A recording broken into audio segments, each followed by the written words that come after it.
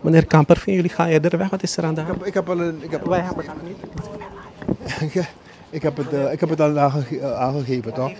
We zijn hier gekomen voor het laatste woord van de heer Bouterse. Met de hoop dat hij iets te vertellen had. Wat is er exact gebeurd?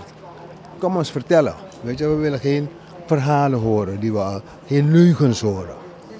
Had, de- had de moed gehad om met een echt verhaal te komen wat er inderdaad gebeurd is op 8 december.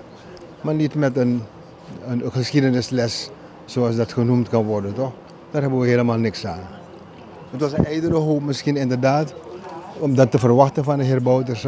Maar dit, daar ga ik niet voor blijven zitten in de rechtszaal. Dus jullie lopen weg terwijl hij zijn laatste woord had? wij lopen wel. Ja, dankjewel. Er zijn nog nabestaanden binnen. Maar wij gaan wel.